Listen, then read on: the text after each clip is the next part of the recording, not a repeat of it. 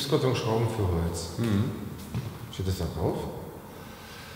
Ja, beziehungsweise ist es auch für die Leute, die nicht lesen können, mit Holz abgebildet. Okay.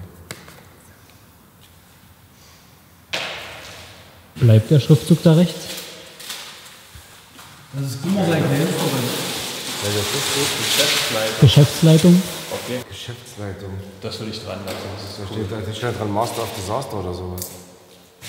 Geschäftsleitung sei. Oder Sir, groß wie Sir, Sir seid. Oder Eure Majestät Herr seid. Affe sitzt im Glaskasten. Ha? Was? Wir machen den Aufkleber, dann habe ich schon gesagt, Achtung, Affe wirft den tot. Bitte nicht füttern. Was für ein Ding? Kennst du das nicht am Zoo? Was? Bei dem Affenkäfigen, diese Glaskästen, wo dran steht, Achtung, Affe wirft den tot. Herzlich willkommen zum, Zwischenstand? zum Zwischenstand. Herzlich willkommen. Herzlich willkommen zum neuen Video von der Firma Top Secret Tuning. So, ihr Lieben, kleines Update vom, äh, von unserem Projekt Autohaus. So, naja, los, auf geht's. Wir gucken mal. Wir fangen mal an, fangen wir hier drin an. Ja. Ja nämlich schon durch das. Echo. Ja, na klar. So, ihr seht, äh, die Bude war jetzt mal ursprünglich weiß gewesen, jetzt ist sie schwarz. Wir verfolgen jetzt hier quasi äh, so. Wir wollten schwarz. Ja, ich wollte schwarz. Dann haben die Jungs ja schon ein bisschen gesprüht. Haben wir einfach mal zum Auflockern mit rein. Haben wir jetzt gesagt, wir machen so ein bisschen so die alte, ja, was ist denn das? 60er Jahre, 70er Jahre, alles gemischt so ein bisschen, ne? Hm, naja. Okay, das finde Ja. ich am coolsten. So, der Roadrunner darf nicht fehlen. Das ist ja so ein bisschen mehr so Steve McQueen-Zeit und sowas alles, ne? Das wird hier der heilige Bereich von El Presidente. Also quasi nur von mir. Sondern für die Geschäftsleitung. Hier kommt die Geschäftsleitung rein. Die machen immer ganz starke Geschäfte hier. Äh, ja, auch dunkel gehalten, von außen angepasst. Hier haben wir ein bisschen mit Holz gearbeitet. Wir werden auch hier in, dem, in der Ausstellungsfläche noch viel mit Holz machen. Dass wir quasi dann den Farbkontrast Schwarz, Anthrazit, Holzoptik äh, drin haben. Ich denke mal, es wird ganz gut kommen. Bisschen wohlig. Rot wird es noch. Die Wand wird rot. Das wird die Fassenwand werden, dass die sich nochmal abhebt. Ja, so viel dazu. Und dann hoffen wir, dass wir hier irgendwann vorankommen. So, dann haben wir natürlich mittlerweile auch mal den alten Teppich alles rausgerissen. Hier kommt dann noch, noch Holzfußboden rein, dass ich das dann mit den Holzelementen dann. Das wird zur Kundensitzecke werden. Hier so ein bisschen Fernseher, kleine Bar mit was, was zu trinken drin und so ein bisschen Kram. Und was zu trinken? Ja, Jackie Cola wie immer. Okay. Oder Havanna. Ach, langsam ist man ganz schön platt, wow. Das ist Ja. echt das Geschäft. W- Seit wann haben wir jetzt hier effektiv angefangen? Ich weiß es gar nicht. Das war ja wieder so gewesen, bis ich auf den Trichter gekommen bin, was will ich überhaupt? Das ich, die, drehen ja alle mit mir durch. Jeden Tag habe ich hier eine andere Meinung. Also, Das ist wie noch schlimmer als beim Autokauf. ja, ja, heute so, morgen so. Den Tag die Wand so, den anderen Tag die, äh, das so, das so. Ach nee, wir machen es doch wieder so. Das Holz? Nee, wir nehmen das Holz. Ja. Es ist gerade schwierig mit mir. Aber ich will es auch einmal richtig haben, weißt du? Klar, wenn du einmal anfängst, dann Genau. Ich weiß nicht, wann wir angefangen haben. Es ist, es ist schon viel passiert in der Zeit, sage ich jetzt mal. Dann kommt geht's weiter, Toilettentrakt. Ja. Also das gab es ja vorher auch nicht. Das war auch scheiße gewesen, ja. Wir sind, das, wir sind ja in diesen Toilettentrakt, sind die von außen reingelaufen. Ach so. Das war aber der Toilettentrakt nicht für die Kunden, das war der Toilettentrakt für. Das war, den, also das war eigentlich Aufenthaltsraum hier. Das? Ja. Und das waren die, das waren die Klos. Oder ist doch eine Tür in die Richtung. Nee, das geht nach außen hin. Da kommst du raus. Nee, das, das, sind, das sind die Schüsseln, die gehen. Ah, so, gut. Ja. Ja, Häuser sind. was ist denn das? Ja, einmal neu. Ja.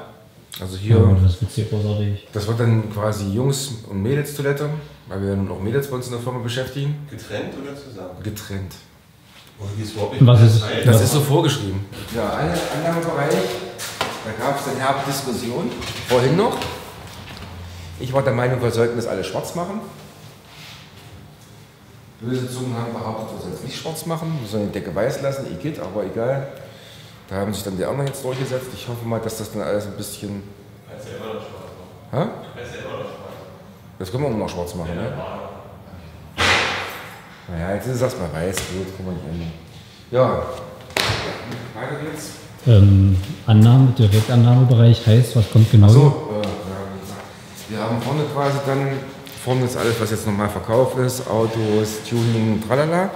Und hier sitzt dann der Werkstattleiter drin und dann die Yvonne noch drin, Annahme mit drin. Das heißt, es wird dann quasi gesplittet. Ne? Wenn jetzt einer zum Beispiel einen Service haben will, der kommt dann hier rein, wird abgefertigt. Und wenn einer riesengroße Räder haben will, der bleibt dann vorne drin, wird abgefertigt. So ist das Ziel. Hinten wird noch Lagerbereich, die sind aber gerade noch am, was ist das, verputzen heißt das, ne? Verputzen. Ja, ich bin, was soll ich wissen? Ne? Hausbau. Vielleicht gibt es auch noch. Ja. Man hat mich so lange nicht gesehen, weil ich jetzt hier als Putzkraft arbeite. Hier wird nicht so viel passieren.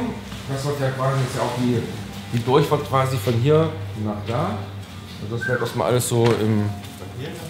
Also von, von Werkstatt vorne nach Werkstatt hinten. Nee, Quatsch.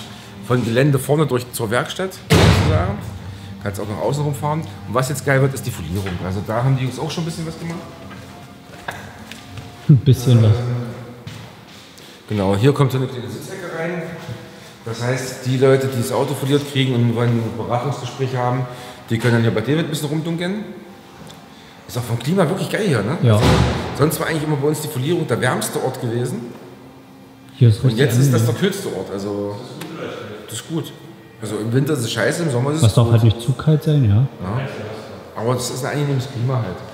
So, dann werden hier, ähm, hier kommt eine Bühne rein, da kommt eine Bühne rein. Aber Dann bloß so eine, so Diese Kurzzugbühnen, genau. Und dann werden dann hier eben halt auf die, hier wird dann alles quasi mit Folie geregelt. Äh, ja, hier ist auch am Main. Achso, die Wand hier wurde ja schon zugemacht, war das war ja auch offen. Genau, das war offen gewesen. Haben wir noch eine Trennwand reingezogen. Also ich habe die Trennwand reingezogen. Ich habe den Trockenbau alleine gemacht. Du hast auch hier gestrichen und so. Ich Ja. habe auch alles gestrichen hier. Also ja. Sie sehen jetzt die auch so gut geworden, weil ich das gemacht habe. Ich betone nochmal, ich habe diese Trockenbauwand gestellt. Nein, habe ich nicht. Aber ja, die haben wir, die haben wir noch zugemacht. Damit dann dahinter, dass wir noch einen Lagerbereich für Folien und so ein Kram haben. Ja, ansonsten sind die Sprüher hier fleißig dabei. Ganz untypisch hat sich, muss ich sagen, ich habe eigentlich mit Gelb, ich habe mit Gelb gar nichts am Hut. Ist ja einfach so, ich habe mit Gelb wirklich nichts am Hut. Ich mag kein Gelb. Ich mag auch kein Blau.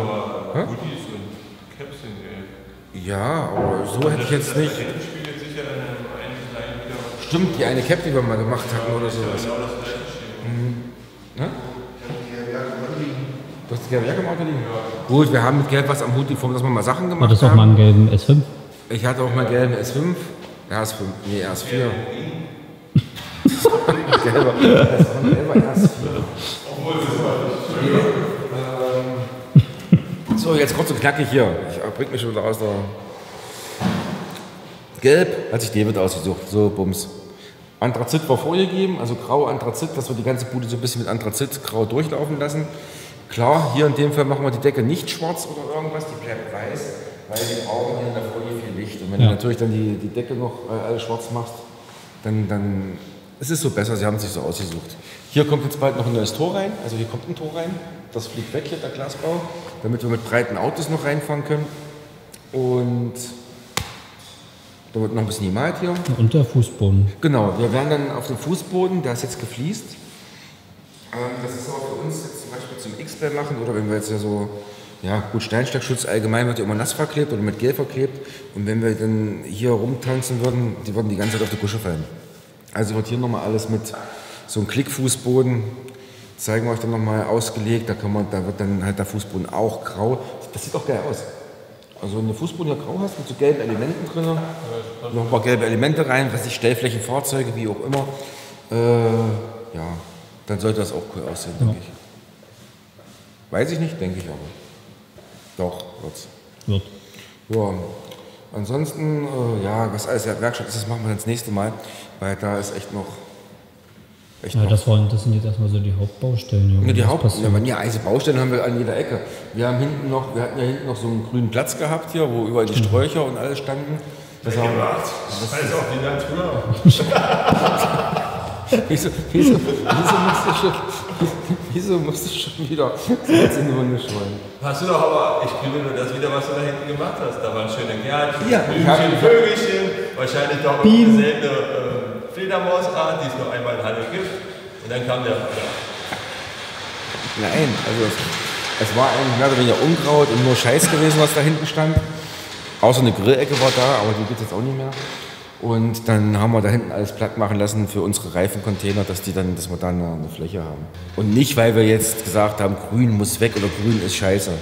Also grün ist sche- Alles grau, Alles schwarz. alles schwarz. Wir müssen ja irgendwie Reifen verbrennen. Nee, ähm, Werkstatt gucken wir uns später an. Und, also nicht später, also nicht in dem Video. Das war jetzt nur mal ein ganz schnell kurzes Update. Wir werden euch immer mal jetzt mit ein paar Storys und ein bisschen Kram auf dem Laufen halten. Ist auch heute mal Zufall, dass äh, Schnullerbacke mal wieder hier ist. Ich muss ja gucken, was mein Auto rausmacht. Der Hautständer. Ja, der unser lieber Marc, der streicht jetzt noch die Pfossenwand am Freitag. Dann werden wir noch mal ein paar Storys machen. Dann kommen am Wochenende die Sprühjungs wieder, die machen hier den Rest fertig. Hier geht ja auch noch, das ist ja noch nicht alles, hier geht ja noch irgendwie was, keine Ahnung, irgendeine Linie geht dann hier noch durch. Gerade Was? Nee. eine geschwungene. Das Nee, ist diese, diese, eine diese, Linie. diese, diese Linien, die du da siehst, die da kommen. Muss eine Linie nicht immer gerade eigentlich sein? Ist es sonst keine Linie? Was? Sonst wäre es dann ein Bogen. Und du sagst geschwungen. Dann ist ja keine Linie mehr. Hier kommen noch irgendwelche Striche an der Wand. Ne? Irgendwas kommt hier noch an der Wand. Ja, Folienbereich konnte sich David jetzt, oder haben sie sich selber ausgesucht? Keine Ahnung. Sie doch. Das klingt Ja, ja, haben so, sie. so, so abwertend, als ob die irgendwie Scheiße gemacht haben und du sagst, das ist aber ihr Bereich. Nein, nein, gar nicht, überhaupt nicht. Ich, Ich hätte es natürlich alles grau gemacht. ich hätte es jetzt für mich alles grau gemacht und schwarz gemacht, ja. Genau. Gelb könnte ja ein bisschen mal positive Emotionen hier hervorrufen in der Firma. Na, ist doch schön mit Gelb. Nee, sieht cool aus. Also doch, mir gefällt es auch. Der Raum ist hinterher separat für sich. So, da passt nicht zu den anderen Zeug dazu. Ja, wieso, wo hast du denn noch mal Gelb hier drin? Na dann später in den Hoodie, den du noch drüben aufhängst und in der Cap, die du noch hattest. Und einen gelben S5. Nee, der ist Ja, jetzt S4 rot. war es. Nein, S5 das ist ein Liberty S5, Road? Aber ist egal. Kein gelben S5 gehabt? Ja, Du der hast ist einen in, gelben? in Polen die Lip, Lippe blutwillig abgetreten. Stimmt, wir hatten einen gelben S5 Silber. Ja, gut, das macht Glück. Ich hatte auch, wir hatten auch einen gelben RS4. Mhm. Den du kaputt gefahren hast? Der RS4? Ja, ja, der. Genau der RS4. Du hattest eigentlich schon viel Gelb, aber du verdrängst das anscheinend, weil du über grau und schwarz viel besser. Es reicht jetzt. Da ist das Video dann noch nicht zu Ende.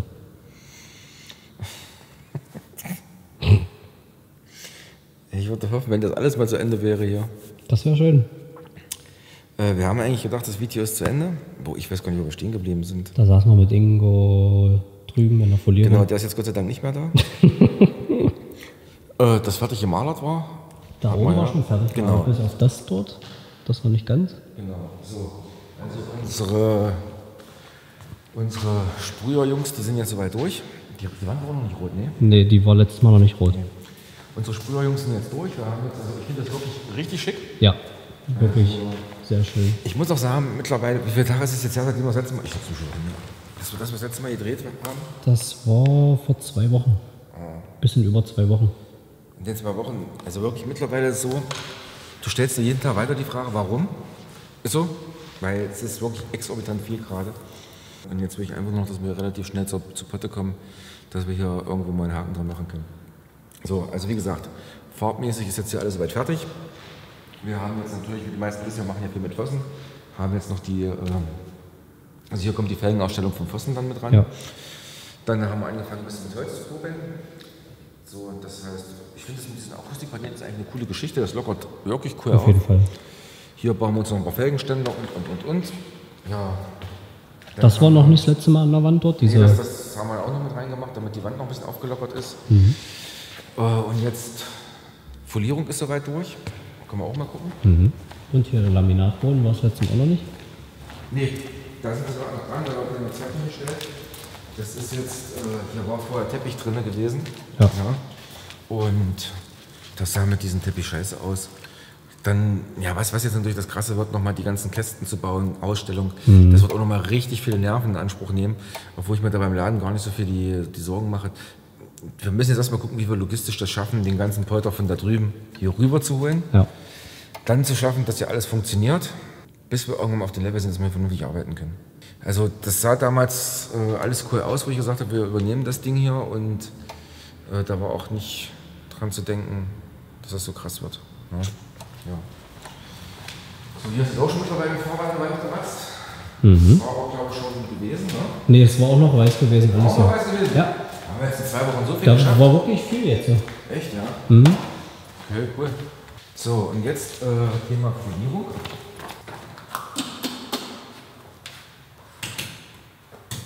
So. Das finde ich schon mal geil. Also die ist jetzt soweit fertig.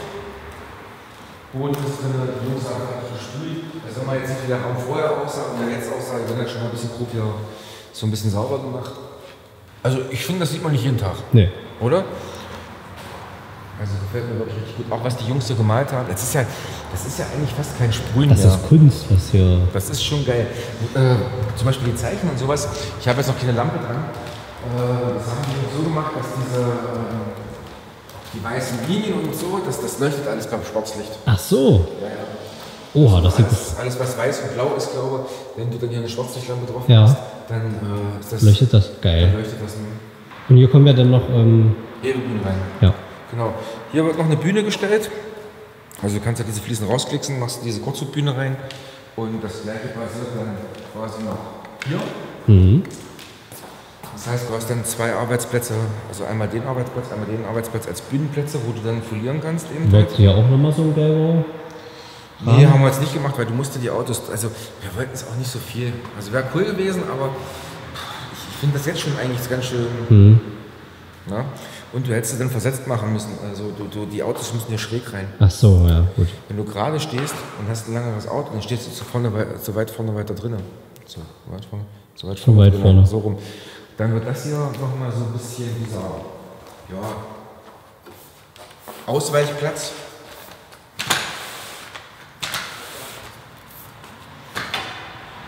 Was war das denn jetzt?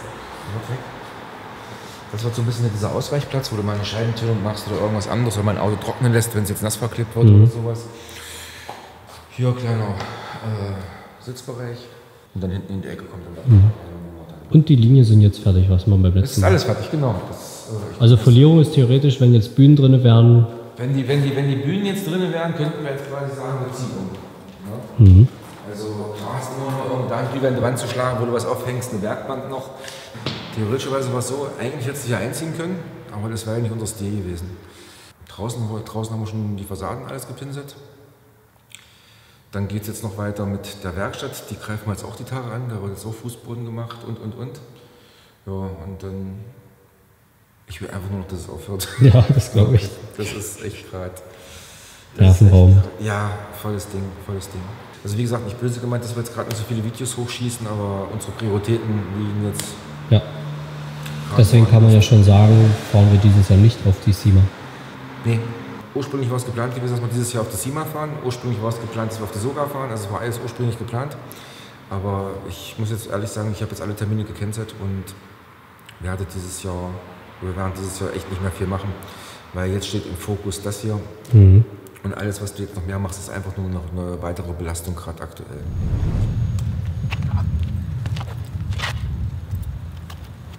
Muss ich dann schon weit weggehen? Was ist geiler, das Logo oder ich? Na, definitiv das Logo. Danke. Bitte. Hallo ihr Lieben. Boah, ist mir fast in die Kamera reingelaufen. Mhm. Theoretisch immer noch im Video, wenn das in das Video kommt. Also entweder sind wir noch im Video oder wir sind schon im neuen Video. Die, Oha. Die, die Nerven sind jetzt wirklich durch. Ja. Durch, durch, durch, durch, durch. Man hat ja so eine Vorstellung, wie man irgendwas werden soll. Man versucht natürlich mit wenig Sachen viel zu schaffen. Das funktioniert nicht immer und ähm, um unsere Vorstellung zu schaffen, ist es dann doch mehr geworden, wie wir eigentlich machen wollten. Ja? So, jetzt sind wir aktuell in der Werkstatt. Wir haben jetzt, äh, wir wollten ursprünglich eine Fliese legen, wir haben es jetzt doch erstmal mit Harz gelöst, die ganze Geschichte. Sieht auch gleich viel freundlicher aus. Ja. Ähm, wie lange es hält, keine Ahnung. Dann wurde jetzt schon mal alles durchgeweißt. Wenn natürlich dann noch die Werkbänke und sowas alles hier drin stehen, dann, dann ist das schon ziemlich cool. Dann haben wir von den, unseren Andi von der Firma Weberwerke noch neue Bühnen geordert. So, warum haben wir neue Bühnen geordert? Das ist eigentlich total bekloppt, ne? Weil eigentlich hätten wir die Bühnen von drüben mit rübernehmen können. Erstens wollte ich alle Bühnen in Grau haben. Äh, und zweitens ist es so, dass wir drüben noch arbeiten. Ah ja. Das heißt, wir bauen quasi hier alles fertig mit Bühnen und sowas alles, damit wir dann nur noch Werkzeuge alles rüberrollen müssen. Das heißt, es wird dann, so sein, dass wir noch äh, zwei relativ neue Hefebühnen zu verkaufen haben. Die einzige, die wir von drüben mitnehmen, ist die Spindelhebebühne. Wir werden dann zum Schluss hier drin, also eine Bühne steht schon. Wir werden zum Schluss dann hier vier Säulen drin haben, plus das ganze Bums, was wir vorne haben. Das heißt, die Werkstatt ist jetzt erstmal zick. Ne? Also wir Feinarbeiten und ein bisschen Kabel verlegen Ja. und so weiter und so fort. Aber das muss es jetzt erstmal tun. Also so, von außen haben wir, ja, wir haben, wir haben noch Bilder, wie der Hof vorher aussah jetzt hier mit den ganzen, das ist jetzt alles gemalert, ist alles schön Anthrazit geworden. Das Tor fliegt noch raus, da ist ein neues Tor schon dahinter. So, und dann hat der Fausti, der war so lieb gewesen, der hat hier uns die Tore äh, in Grau angesprüht. Mhm. Die ganze Bude haben wir jetzt Anthrazit gepinselt. Und dann hat er uns was Schönes dran gemalt mit seinen Kollegen. Da, der macht das halt immer wieder krass, war. Du guck mal, die Pfostenfelge, wenn ich jetzt die originale Pfostenfelge, die wir von der Ausstellung Ja. habe, daneben halten würde, sieht eins zu eins aus wie die Felge, Ja. die du da siehst. Ja. Sieht aus wie ein Foto, was drauf gedruckt Und das ist halt geil. Weißt du, warum wir das gemacht haben? Für dich. Für mich? Weil Wenn du immer Autos fotografieren musst, Ja. musst du nicht über einen halben Planeten fahren, sondern hast, kannst auch hier hinten im Hof. Ja. Also hier kommt ja überall noch was ran. Mhm. So, und dam- damit wir auch hier hinten mal ein bisschen shooten können, wenn wir die Autos haben. Auf jeden Fall. Weil wir hatten ja in der Reideburger Straße hatten wir die Top Secret Wand.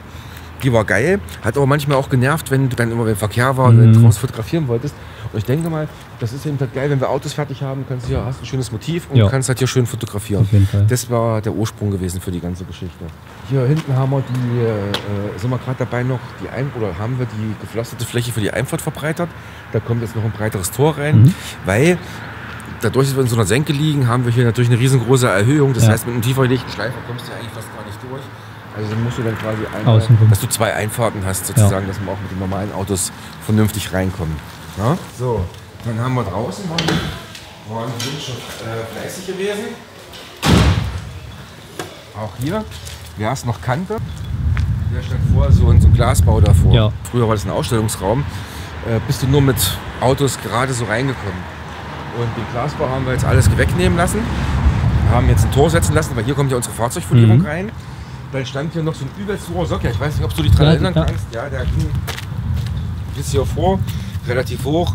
Da hättest du immer aufgesetzt. War ja eigentlich auch nicht zum Einfahren gedacht. Dann haben wir jetzt die Einfahrt noch umändern lassen, damit du hier schön hier schmeidig auch in die Folierung fahren kannst. Das ist halt alles Sachen, das hast du nicht auf dem Schirm Ja, gehabt. ist so- Ja, da ja. hast du nicht dran gedacht. Und das hält halt alles auf. Das hält auf wie Sau, ja. Aber wir sind jetzt Gott sei Dank hier draußen ja fast durch. Ja. Denke ich. Ja. Da kommt noch ein bisschen Werbung dran, ein paar Strahler dran und so weiter und so fort. Das kommt natürlich zum Schluss.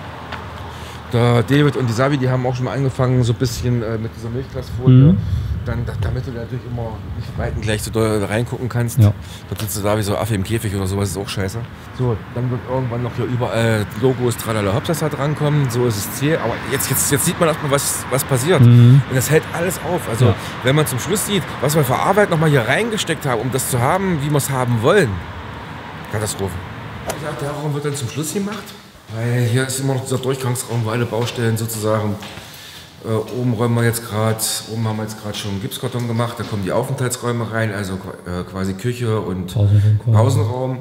Jetzt geht's los hier mit der, der Heiligen Selbsthalle. Oh ja.